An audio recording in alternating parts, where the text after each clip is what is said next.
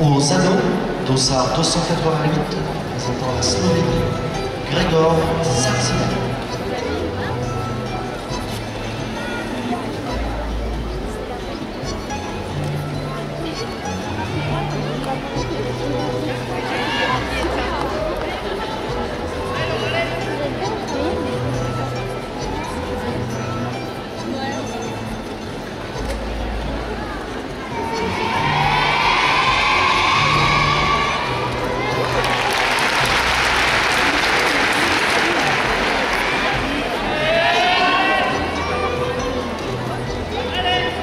Au sol, représentant le Portugal, dossard 277, Miss